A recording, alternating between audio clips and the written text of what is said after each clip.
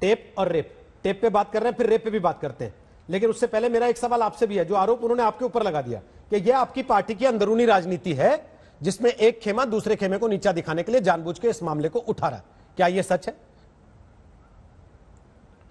देखिए ये भी राजस्थान का बच्चा बच्चा जानता है कि राजस्थान राजस्थान के अंदर राजनीति में अगर खेमे बने हुए हैं तो वो किस पार्टी के अंदर बने हुए हैं? अच्छा खेमे बने भले ही बने उसमें क्या है, अगर आप लोकतंत्र, लोकतांत्रिक आपकी पार्टी है तो चर्चा करें ना आपस में। लेकिन उसका खामियाजा पूरे राजस्थान को क्यों भुगतना पड़े? आप ही के कुछ विधायक अलग गए थे, तोड़ना चाहते थे पार्टी को। हम तो उसमें नहीं शामिल थे। रघु जी, आप, आपके साथी थे वो, आपके साथी नहीं थे, क्या बताइए? आपके बिल्कुल साथी थे। और सब जानते हैं कि किन दो लोगों में बातचीत ही नहीं है बिल्कुल। हर दो तीन महीने में वो, वही मुद्दा खड़ा हो जाता है कि दिल्ली कौन कौन गए थे। अरे दिल्ली भाजपा वाले तो नहीं गए थे ना। आप ही के लोग गए थे। वो जो झगड़ा तो अभी भी चल रहा है। तो खेमा खेमेबाजी कौन सी पार्टी में हो रही है वो सब जानते हैं। लेकिन दुख इस बात का है कि राजस्थान को उस, उसका नुकसान नहीं होना चाहिए। आप तो अपनी सरकार बचाने में लगे हुए और उस उस कारण आप फ़ोन टैपिंग कर रहे हैं। आप बताइए कौन सा आतंकवादी पकड़ा आपने? आप बताइए कौन सा कोई आर्थिक स्कैम कोई बड़ा आपने उजागर करा? कुछ नहीं करा आपने। तो आपके जो एक साल आपने बोला हम फ़ोन टैपिंग कर रहे थे लेकिन उस उसका नतीजा क्या आया? राजस्थान की जनता को यह भी तो बताइए क्योंकि पुलिस महिला सुरक्षा में तो नहीं लगी हुई। वो आपकी सरकार बचाने में लगी हुई है तो बताइए कि उसमें नतीजा क्या निकला?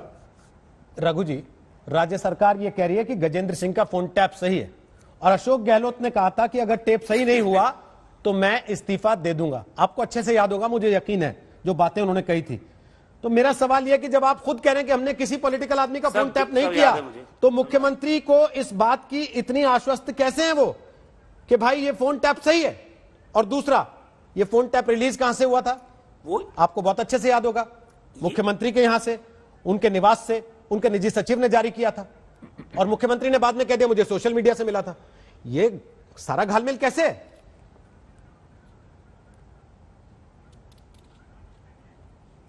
कोई घालमेल नहीं है। विधानसभा ऐसा प्लेटफॉर्म है जहाँ पे पूरी ज़िम्मेदारी के साथ माननीय मुख्यमंत्री जी ने विश्वास मत लेने के टाइम कहा था कि राजस्थान में निर्वाचित जनप्रतिनिधि, चाहे एमएलए हो, चाहे एमपी हो, उनके टेप नहीं किए जाते हैं और ना हमने किए हैं। और ये जो प्रक्रिया की बात आई है, वो प्रक्रिया बताइए इसमें।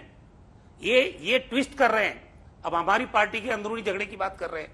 राज्यवर्धन सिंह जी, इनको पूछो, राजस्थान में धार्मिक यात्रा भी हो रही है। बीस एमएलए लिख के दे रहे हैं। कि सदन में हमको बोलने नहीं दिया जा रहा।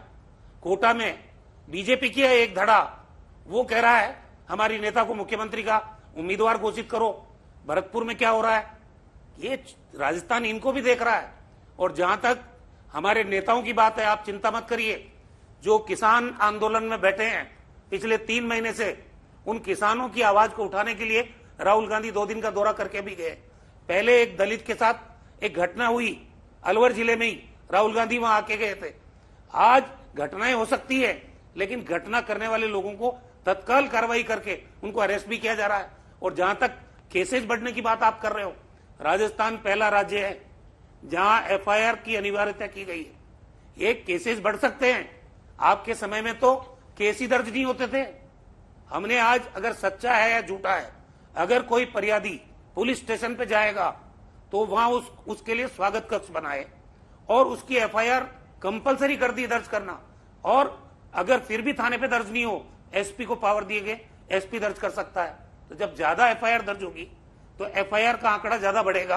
तो आपके जो जो आंकड़े आप बता रहे हो, उससे उठाए आपने आंकड़े। वास्तविक अपराधी कितने हैं, उन पर क्या कार्रवाई हुई है? उनको अरेस्ट किया गया है, उनको निलंबित किया गया है, उनको जेल में डाला गया है। ये ये सब कार्रवाई सब राजस्थान देख रहा है। बीजेपी के नेताओं को इस बारे में ज़्यादा चिंता करने की ज़रूरत नहीं। सरकार हम चला रहे हमारी ज़िम्मेदारी है। कोई अपराधी ज़्यादा दर्ज होती है। जिन अपराधी आप कह रहे हैं हमने स्वागत कक्ष बना दिया इसलिए एफआईआर हाँ, ज़्यादा दर्ज होती है सम्मान के साथ एफआईआर कराते हैं। नहीं एफआईआर कंपलसरी पहले हाँ बनाए ना। इन्हीं राज्यवर्धन राठौर ने एक ट्वीट किया है। आपकी हाँ, सरकार पर बड़ा गंभीर आरोप लगाते हुए। टैपिंग के सवाल को तो आप ट्विस्ट करके निकल गए। आपने नहीं बताया कि मुख्यमंत्री को इस बात की गारंटी कैसे है कि वो फ़ोन गजेंद्र सिंह का ही था जिसके लिए वो कस्मे खाने को तैयार थे। वो क्यों इतने गारंटीड थे कि ये गजेंद्र सिंह का ही है कि उन्होंने अपने निजी सचिव से उसको रिलीज़ करवा दिया? इस पे आपने जवाब नहीं दिया। कोई बात नहीं सर। लेकिन जहाँ आप स्वागत और थाने में रिपोर्ट दर्ज होने की बात कर रहे हैं। गजेंद्र सिंह की गजेंद्र सिंह सुनिए आप हाँ सुनिए। सर बोल लीजिए बोल लीजिए बोलिए। हाँ। गज गज गज गजेंद्र सिंह गजेंद्र सिंह की आवाज़ को पूरा राज, राजस्थान जानता है। उनकी शकल को भी राजस्थान जानता है। तो इसलिए जाँच कराने की तो आवश्यकता नहीं लगी अगर कोई चीज़ सामने आई है बतौर तो सरकार बिना जाँच के आपने घोषित कर दिया कि यही है? ना खाता ना बही जो आप कह दें वो सही। हमने ऐसा मेरी बात आप बात तो सरदाना जी सर सरदाना जी बात सुनिए। उनको बुलाया था कि आप अपनी वॉइस टेस्ट कराने के लिए आइए। क्यों नहीं आए वो? किस बात का डर था उनको?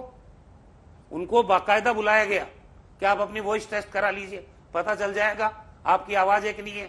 केंद्रीय मंत्री जी अगर अपनी वॉइस टेस्ट कराने से कतरा रहे हैं तो खुद ही तो सवालों के घेरे में आ रहे हो